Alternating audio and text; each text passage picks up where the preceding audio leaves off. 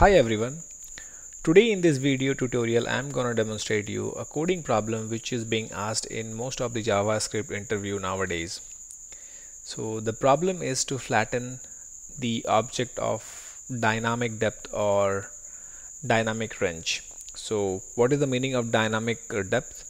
Uh, it means it can have a property of multi-level hierarchy. So here you can see that we have a multi-level of hierarchy. So it is not fixed.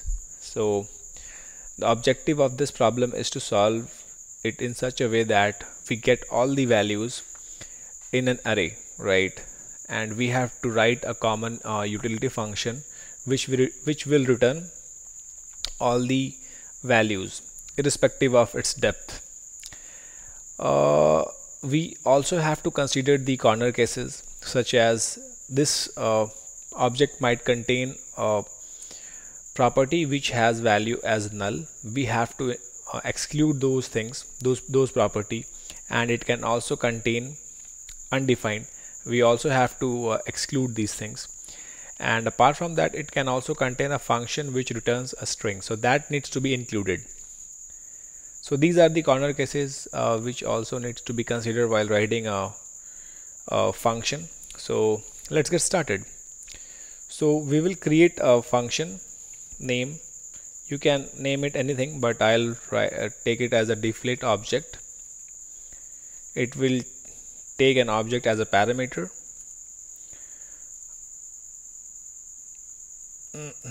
So I'm using an ES6 uh, arrow function. We will create a result object array which will hold all the values of this uh, object.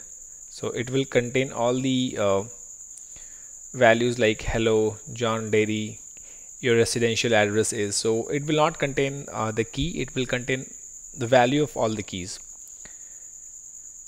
So we'll create another uh, inner function with object as a parameter which returns the value. So basically uh, this is an object. So we have to iterate over it to get the value. To iterate over it we will use object dot keys.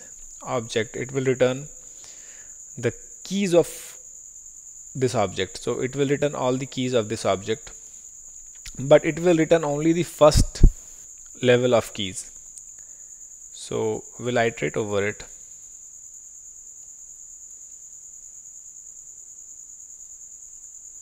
as we know that for each takes an a callback function. So let's say we have to check what is the type of this first object. To check it we can use type of method uh, operator which will give you what is the type of if it is an object will recursively call the deflate method?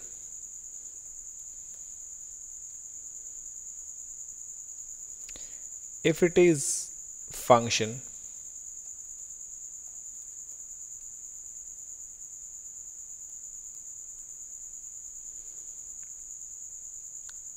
will push it into the result.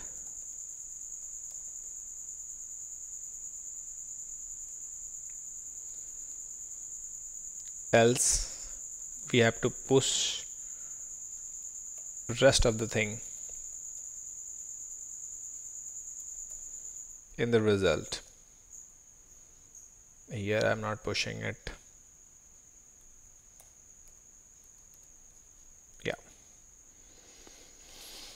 So what we are doing I'll just reiterate. So I'll just check the type of the object right? If it is an object I'll uh, again call this method with the uh, updated object.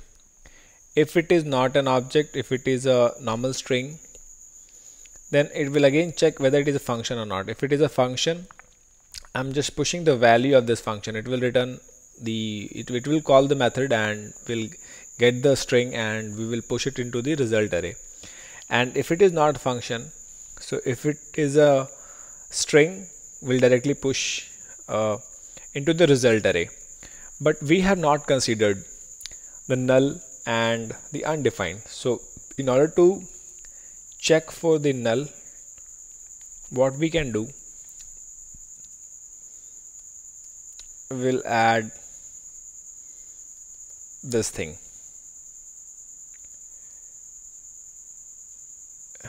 so this will also check whether the value so why I'm checking over here is because the type of null is also an object. So if the program execute over here at key it will return object. So it will again call the null with this operator. So we might get an error. So that is why I just check before uh, recursively call recursively calling of this method. And even here we have to also check.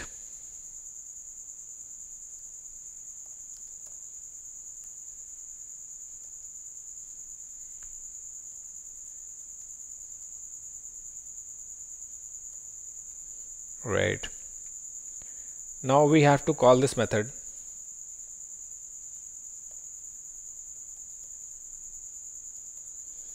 and we have to return the result.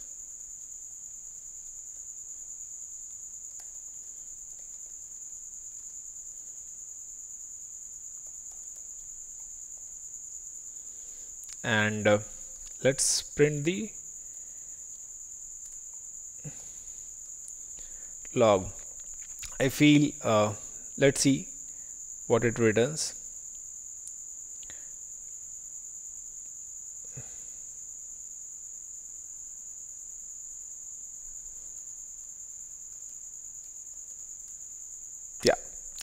so here we can see that uh, this array holds all the values of this object irrespective of the depth of the uh, object.